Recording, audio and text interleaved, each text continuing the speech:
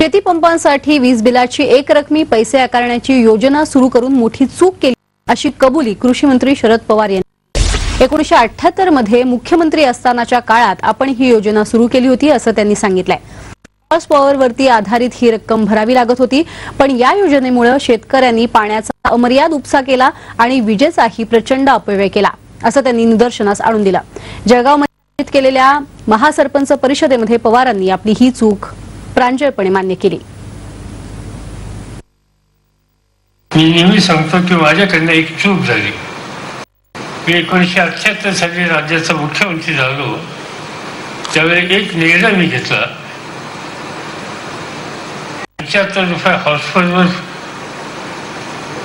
पाण्याची उपलब्धता किंवा विजेची उपलब्धता आम्ही करून दिली.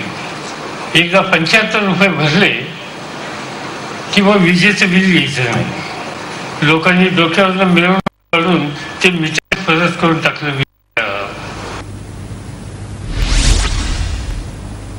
आरटीए